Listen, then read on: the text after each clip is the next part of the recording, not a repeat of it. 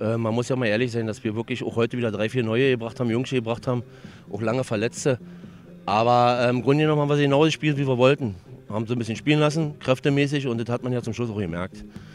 Und ja, damit können wir zufrieden sein. Also wenn wir ein bisschen Konter noch zum Schluss fahren oder so, dann fahren, erschießen wir sie hier, weil viele Chancen hatten sie ja nicht. Ne? Obwohl sie spielerisch nicht schlecht sind, muss man ja sagen nach vorne. Viel klein-klein in der Mitte, aber äh, ich glaube, Endeffekt zum Schluss effektiver und der Sieg geht in Ordnung.